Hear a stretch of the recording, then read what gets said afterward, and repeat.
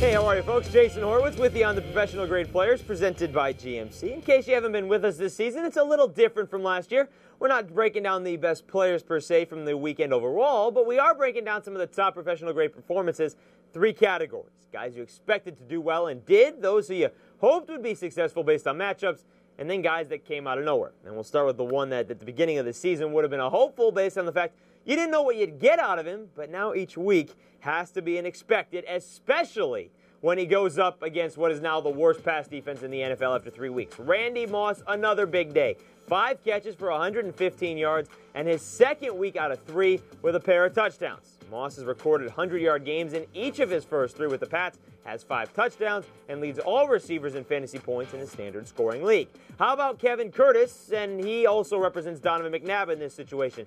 This falls under the hopeful category just because they hadn't done it yet this season, but up against the still questionable Lions defense, you could have hoped for good numbers for Curtis. He way exceeded expectations, though.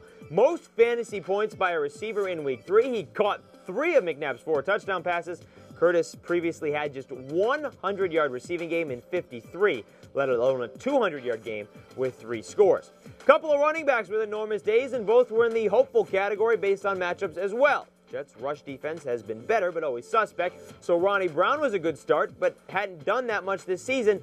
That out the window after 211 total yards and three total touchdowns. Meanwhile, Deshaun Foster up against the Falcons, who were giving up 125 yards a game on the ground.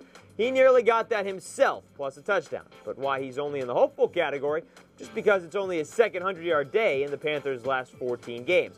As for the where'd that come from, there's two. Starting the same game. How about Roddy White? Former first round pick with seven catches for 127 yards and a touchdown. That after not having a score in any single Falcons game in 2006. He's emerging as Joey Harrington's go to guy, who, by the way, also could have fallen into this category. But when a backup quarterback comes into a game against the Ravens defense and does what Kurt Warner did, he certainly fits the role. Forget the fact he almost led the Cardinals to a victory. He put up some fantasy numbers for a guy not owned in one CBSSports.com league. But he threw for 258 yards, two scores, most of those numbers in the fourth quarter alone. He was the 10th ranked fantasy QB by points in week three, looking like the former MVP.